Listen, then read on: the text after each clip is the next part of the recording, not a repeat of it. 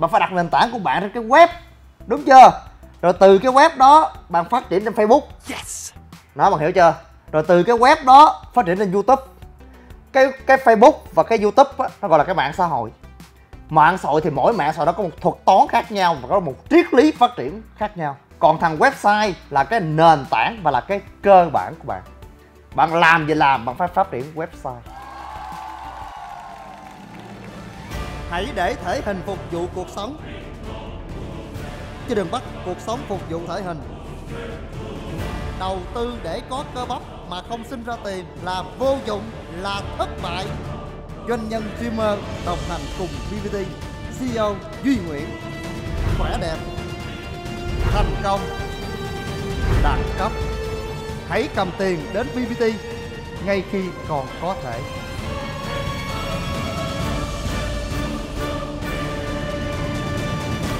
BBT nâng tầm con người Việt Nam À, chào mừng các bạn đến với chương trình kiến thức kinh doanh của Như Nguyễn. Đây là cái kiến thức căn bản mà tất cả những bạn khởi nghiệp, những doanh nghiệp, những người làm mướn, làm công, làm thuê đều phải nắm. Đó, cái kiến thức này nó diễn ra trong cái bối cảnh thực tế của công ty BBT là hôm qua nay có chuyện sồn sồn mấy vụ website của đại lý. Chứ có mấy cái website mà nó sồn từ tối hôm qua tới bây giờ đó mấy em. Đại lý cũng sồn, nhân viên BBT cũng sồn. Mấy bạn nào á mà làm ăn kinh doanh á hoặc đi làm á mà ngu về web á là kể như doanh thu không giờ tối đa được. Yes! Mà đa phần bây giờ á các bạn làm ăn kinh doanh rất là bợp chợp không có bài bản không có kiến thức. Uh-oh. thằng nào cũng làm chủ hết á mà không có đi học ngày nào hết. Có mấy con nhỏ hot girl đâu ra tự nhiên bắt cà phê. Họ có đi học quản trị kinh doanh không? Học ờ, biết kinh tế là gì không? Không. Tại vì em em uống cà phê thấy nhỏ kia bán dễ quá em về bắt chước bán theo. Không có tạo dựng cho mình một cái hệ thống thương hiệu ồ lộn lộn, xin lỗi, hệ thống thương hiệu là anh. Là anh. Còn ví dụ như các bạn kinh doanh, các bạn phải tạo dựng cho mình một cái front name. Vậy thì để phát triển cái front name nó như thế nào? Thời buổi bây giờ là xã hội bây giờ là người ta hay nói là 4.0 á. Mặc dù mấy em có thể không cần hiểu 4.0 là cái gì cả. Để phát triển PR thương hiệu, nó có hai mảng, online và offline. Bây giờ mình nói qua cái mảng online. Cái mảng online á thì bây giờ á các bạn đến với một cái gì đó bạn thông qua cái gì đó đây bạn biết cái gì đó. Hiểu chưa? Tức là bây giờ bạn mua hàng á thì bạn có thói quen như thế nào? Đó mình phải hiểu được tâm lý của người mua hàng. Người ta có thói quen người ta sẽ tìm trên cái gì? Người ta phải tìm trên google mà tìm trên google làm sao đó các bạn? Ra website đúng không? Giờ ra facebook được không? Bây giờ facebook có một thế lực đáng gờm vậy thì giữa facebook với website cái cách đầu tư sao cho nó thông minh sao cho nó tối ưu? Tất cả những đại lý của bbt để coi minh lâm coi. Từ từ mấy em. Thằng này nè. Thằng này ngày trước tao nói thẳng luôn. Mày không có sọc phiêu những cái những câu chuyện của nó chứ các anh mới biết thôi. Oh? Còn bây giờ sạch muscle fill ừ ra ra. May mắn mày hên đó nha. Muscle fill thực phẩm bổ sung thể hình gym center. Đồ có tích xanh luôn. Được thằng này nó lặn hợp tới ngày hôm nay chắc nó cũng phải nằm gai nếm mật nó bò dữ lắm rồi. Web chậm quá. Thằng này đầu tư web ngu rồi. Thằng nào làm it cho mày vậy? Trời ơi qua coi web thình online bắt trước nè ba. Nè có thình online lót nè. Một nháy thôi thằng mới phiêu lót. Uống cái ly cà phê đi. Xong rồi vô lót xong. Nhưng mà thôi cái câu chuyện lót web là câu chuyện đó sau này nói. Nhưng mà ít ra trong tất cả những đại lý á cái thằng Muscle á, nó làm web á, nhìn nó còn nó còn được một chút khoan bóc phốt nó em hiểu không? Mình khoan bóc phốt nó. Nhưng mà mình nói về cái website với cái facebook. Giờ vô coi facebook của mới phiêu không? Má, đào mồ nó sợ nó buồn luôn, thiệt từ từ mấy em. Anh ờ, giờ đang làm chương trình thực tế anh phải vô facebook nè. Facebook của anh không có để bát đây. Khi thư ký nó vô nó coi thấy cái này nọ. Thằng kia đó là muscle field đúng không? Bây giờ nó phát triển cái đăng em là muscle field đúng không? Ok. Tất cả mọi chuyện phải bám vào muscle field. Mấy gì dài vậy. Nó ba bốn cái luôn. Muscle field bình thạnh cũng có nữa ta. Đây nó có một cái nè. Muscle field nguồn nhiên liệu vô tận chinh phục thách thức cuộc sống dài quá. Mốt anh nói về cái lỗi này nữa. Rồi vô này nhiêu like? Tao cóc cũng biết tao coi mày nhiêu like cái đã 12 ngàn like cũng khá rồi đó. Gần bằng trang tam trẩu rồi. Bây giờ anh nói tóm gọn lại á cái nhận định về facebook và cái nhận định về website cái nào mạnh cái nào không cái nào mạnh và cái nào yếu cái nào là chủ đạo và cái nào là thứ yếu. Nếu mà các bạn không có cái kiến thức chỗ này á thì các bạn sẽ đánh tập trung vào facebook. Đúng chưa? Các bạn sẽ đánh tập trung vào facebook bạn nghĩ rằng giờ thằng nào cũng cầm app cầm điện thoại lướt facebook hết. Thì bạn sẽ đánh vô facebook.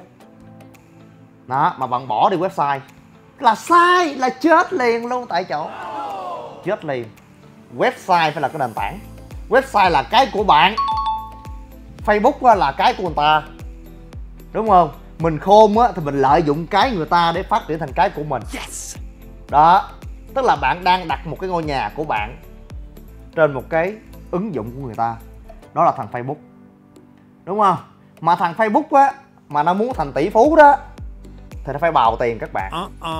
Nó phải bào tiền các bạn nó thành tỷ phú được. Tức là tất cả mọi chuyện đều để cho thằng facebook nó nó nó kiểm soát nó control mà. Bạn bạn xây dựng một cái trang facebook thì nó được cái gì được share like tương tác. Đúng không? Cái đó là cái điểm lợi thế. Website nó không có được.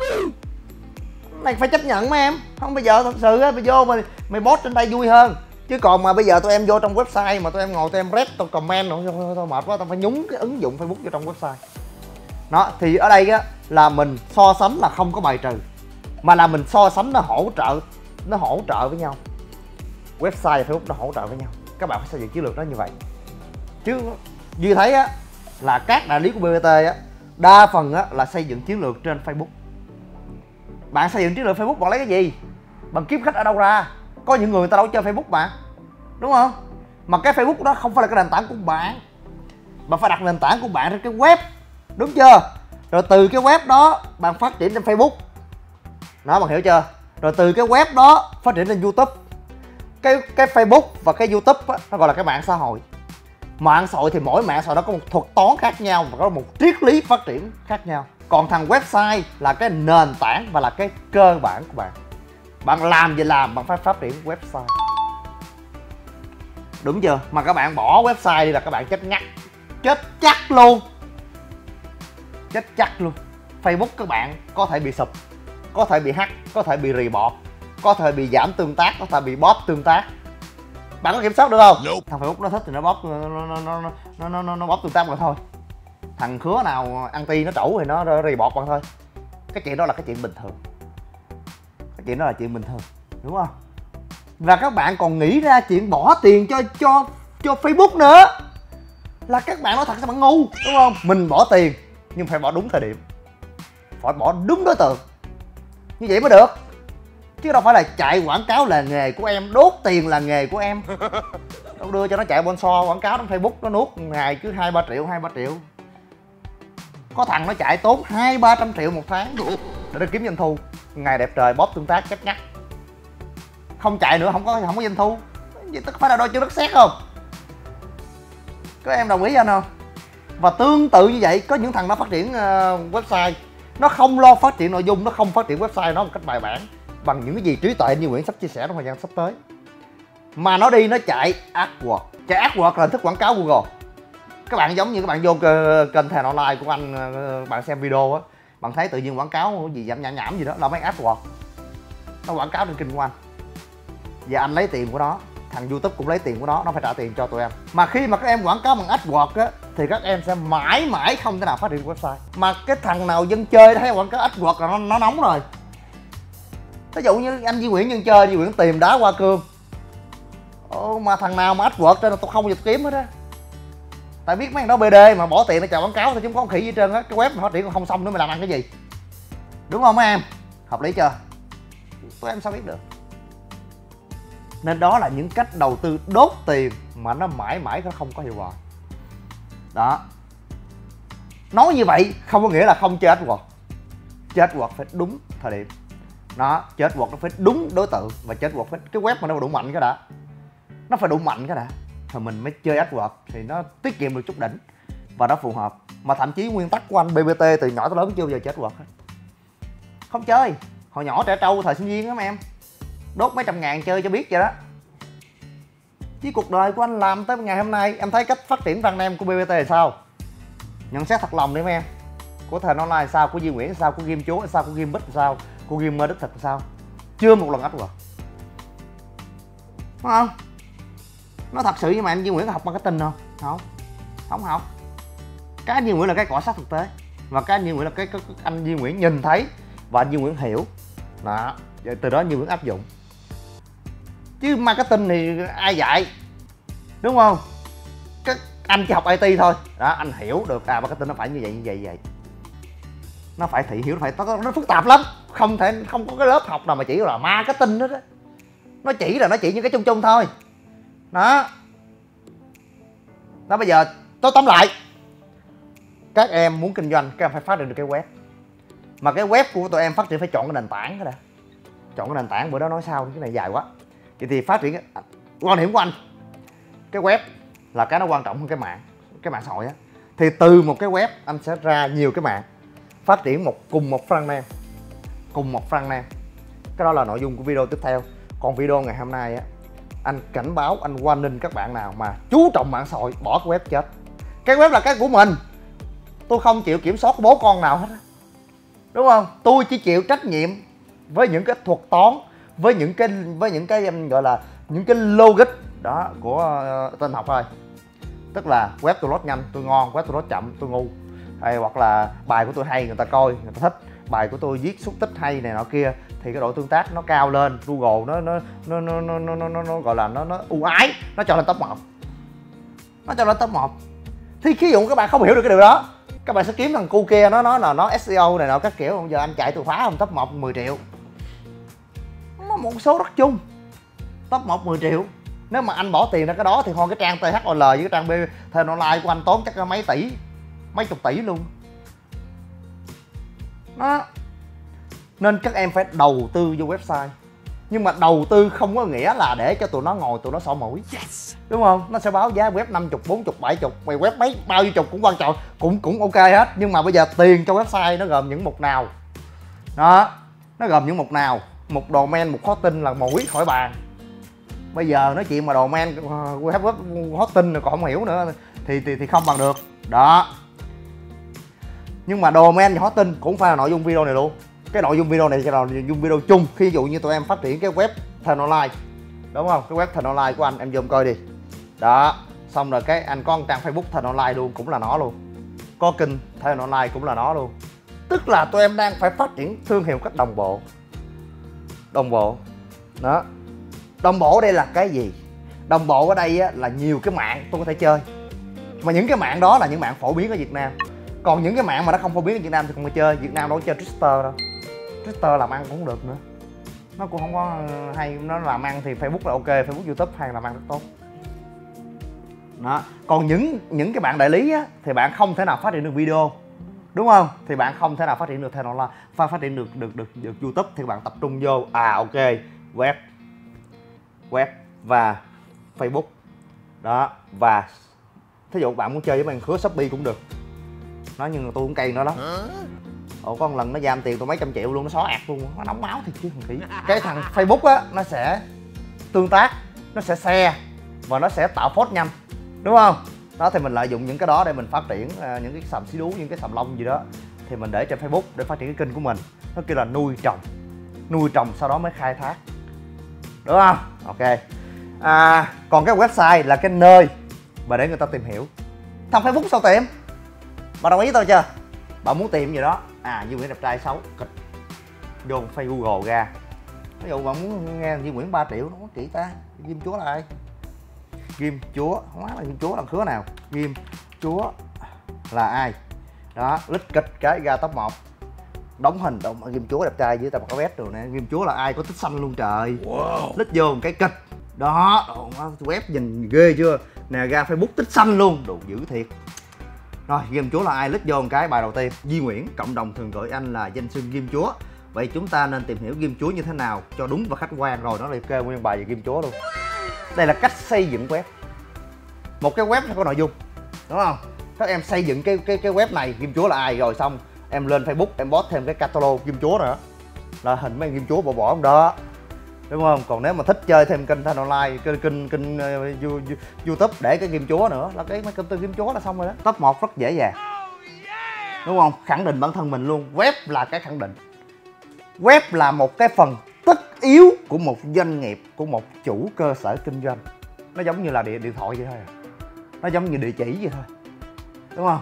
Khi kinh doanh tôi cần phải có gì? Website là phần không thể thiếu còn bây giờ đi sâu vào hệ thống đại lý BBT đó là đại lý BBT đúng không? Website là website bán hàng. Vậy mình xác định mình có tính thương mại điện tử cho này hay không? Để mình đầu tư một cái framework cho nó chính xác. Đó, cái framework kêu là cái nền tảng. Đúng không? Không ai mà giờ qua không có đi mà code mà .net .net gì, không có rảnh đâu mà code với cái đó. Có cái đó chỉ còn Diên Nguyễn thời 2008 thôi. Có thôi, còn bây giờ nó xài framework hết. Có thể là Joomla có thể là Ruble có thể là WordPress có thể là Magento có thể là là là gì uh, gì OpenCart thì mình phải sử dụng một cái framework. Nó chính xác. Mà chọn sai framework là mày chết mẹ rồi. Đó cái này nó quan trọng. Nhưng mà cái vấn đề đó là con Duy Nguyễn lo cho đại lý chọn đúng framework luôn khỏi chạy. Nếu mà không các bạn chọn lộn framework.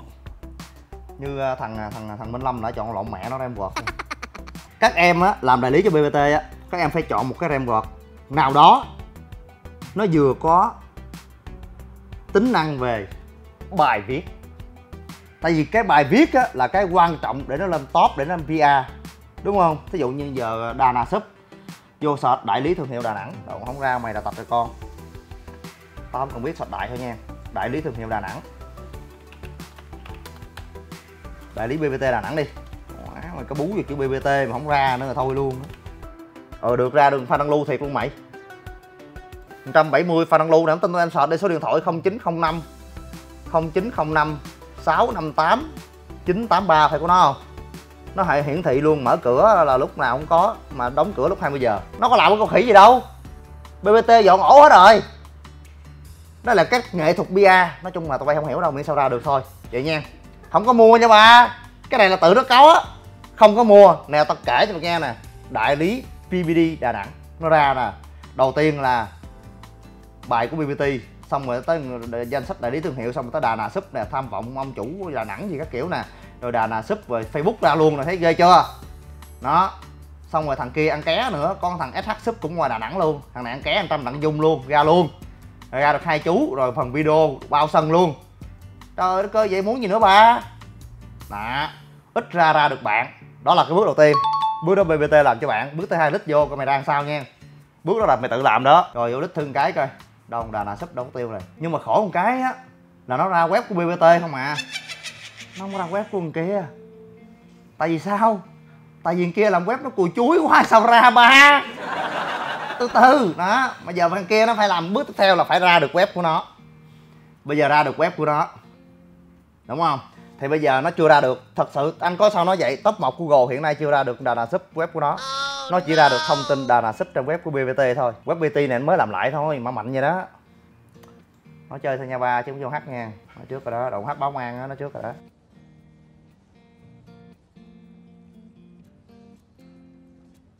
À. À. Đừng có phải đặt ngựa nha. Đà nà súp. Chấm gì chấm vn phải không? Khổ ghê giờ vô web thì gõ giày cái đuối rồi trời web vậy sao ra được ba? Không ra đúng rồi web xấu quá. Thông tin này nọ kia chưa có gì hết trơn trời. Lỗi tè le hết rồi. Thôi web này ở nhà đi. Web này muốn ra là còn phải tiếp làm tiếp. Đó. Vậy thì thằng thằng đàn Shop này nó nó nó, nó kinh doanh nó bỏ web rồi. Đúng không? Người ta vô người ta cái web này à, cái web nguy hiểm đó nha mấy em. Người ta vô ta thấy cái web em vậy là tao nói Ê, cái thằng này trộm chó nè. Tao nói Ê, cái thằng này treo đồ dê bán thịt ngựa nè. Cái thằng này nổ nè. Đúng không? Bởi vậy thằng này là chết rồi. Bây giờ mày up trên facebook. Ok anh vô facebook anh coi. Đâu rồi facebook đâu rồi? Thằng này nó là gì? Nó đà đà đà sắp luôn lên facebook sạch luôn. Để coi em marketing đang ở mức độ nào. Chứ bây giờ em em đừng có nói. Em xem một bài bạn bè em nó thấy thôi dòng họ nó thấy thôi. Đúng không? Em đâu phải clip lễ tân em đâu phải clip trăm anh đâu mà em đòi người ta tăng đột biến. Em chỉ là thằng đà đà sắp bình thường thôi. Mà em làm như vậy là kể như lượng khách của em nó sẽ rất là ít. Đà đà sắp ok rồi ra được. Trời ơi tan chưa được ngàn like nữa. Thôi vô like giùm nó đi em. Trang chưa được ngàn like nữa nè nó có nè. Anh không có soi facebook ok? Tại vì cái facebook là cái chuyện không phải là nội dung ngày hôm nay. Đó anh chỉ coi cái cách đó nó nó phát triển thương hiệu sao. Đi vô, mấy em rõ ràng không? Đi vô facebook của nó nhìn còn đẹp hơn cái web của nó nữa. Đúng không? Nó đưa đi vô facebook của nó nó còn đưa cái hình nữa. Banner của bbt thiết kế cho nó lên cái, cái cover nó còn đưa hình profile vô. Nhìn nó tử tế hơn cái web của nó. Đâu đá vào web nó còn phát coi cái gì vậy ba? Rõ ràng thằng này mày không đầu tư web. Mà mày đầu tư cho facebook. Tức là mày đang sai chiến lược. Đó nó đang chọn một cái đôi chân đất sét. Thay vì nó chọn một đôi chân vững chắc. Nó phải đầu tư web trước. Web nó hoàn thiện rồi. Nó đá qua facebook. Nó copy nó bát thôi rất là nhanh. Còn không có chiều ngược lại nha mấy em. Anh bảo đảm tụi em luôn không có chiều ngược lại.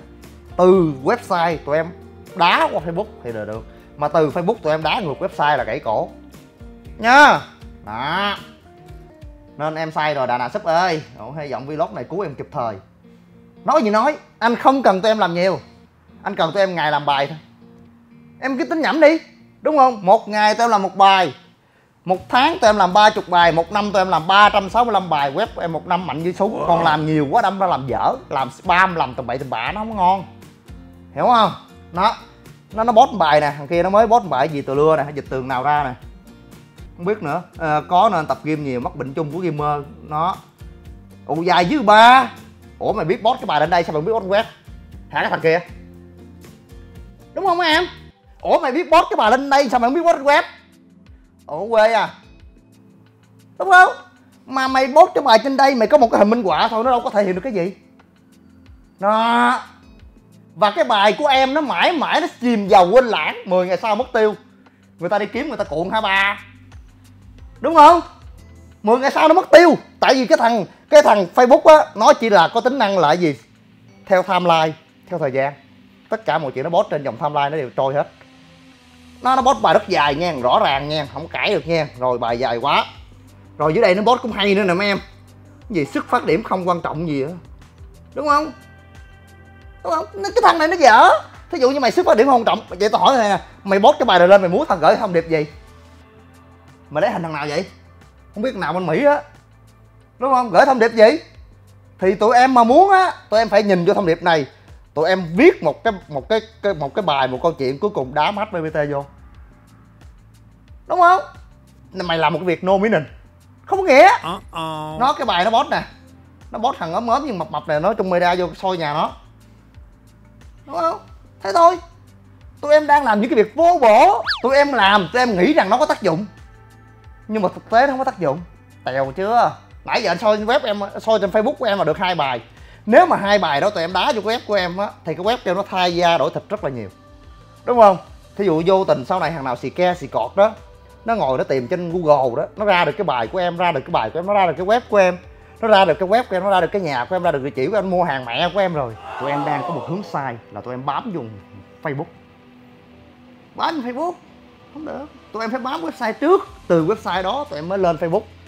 Đúng không? Tụi em phải lên facebook tụi em phải chia sẻ cái bài đó tụi em lôi cái traffic về trên website của tụi em. Hiểu chưa? Thí dụ như cái bài cũng thằng ống ốm nãy đi. Cái thằng ốm ốm mà thằng thằng thằng nào cầm hũ đi clip đó có râu này nhìn tao cũng ghét này lắm đẹp trai tao chứ gì đó em post cái bài này, xong rồi á, lên website lên website nha. Xong rồi từ website đó em viết một cái status chừng ngắn thôi, chừng 50 chữ thôi. Đó 50 chữ thôi. Xong rồi cái em để cái link vô website của tụi em. Hiểu chưa? Nó là nó có hai tính năng luôn. Web của tụi em vừa có traffic, mà web của traffic nó sẽ lên hạng. Rồi các kiểu, phay của tụi em nó cũng có bài. Và người ta like nó, người ta like hai cái nói chung á người ta biết càng nhiều về mình càng tốt. Yes. đúng không? Người ta biết càng nhiều về mình càng tốt mấy em? Giống như bò của anh Duy Nguyễn vậy thôi. Nó biết anh Duy Nguyễn có bốn cái nhà nó tới nhà này kiếm không gặp nó qua nhà kia nó kiếm. Đúng không? Còn anh có bốn cái nhà mà nó biết có một cái nhà thôi nó kiếm mà không gặp nó về luôn. Đó là cái à, video này anh cố gắng nói uh, cũng hơi dài dòng đó. Nó nói chung là tính năng của website với facebook và mạng xã hội. Thì tụi em đang chọn lộn cách cách đầu tư cách đầu tư tụi em nên chọn website. Còn cách làm sao để website tối ưu làm sao cho website nó hay làm sao cho website nó đẳng cấp. Đó, chiều hôm qua nay là đại lý cứ sồn sồn nhân viên cũng sồn sồn mới dùng website. Sồn nào là phí hosting phí đồ mấy em thôi dẹp mẹ hết đi mấy ông nội ơi. Đi làm ăn mấy cái phí cắt bạc đó mà ngồi đó mà cứ lăn tăng lộn xộn là là là là là là, là không thích rồi đó đúng không? Bởi vì nói chuyện với bbt hay nói chuyện với với Duy Nguyễn đừng có nói với tiền. Cái tiền không phải là cái đem nói chuyện mà cái ngồi nói chuyện là cái làm sao để ra tiền? Không phải là ngồi thu tiền website với ông để làm cái gì. Nhưng mà cái mục đích chính là phát triển cái website của ông cho nó ngon ngon vô. Đó, cho nó mạnh mạnh vô và mấy ông phải đầu tư đúng hướng nữa. Chứ thằng, cái thằng kia mày ngồi mày bót cái bài này đâu ra? Đó, cái thằng đà nào sấp nè, mày ngồi mày bót cái bài thằng này đâu ra mày tự nghĩ ra hay mày copy trên mạng? Chắc chắn là mày copy rồi. Đúng không? Nhưng mà mày lỡ copy rồi mày copy vô web không đi. Mày về phải sửa chút đỉnh nữa chứ.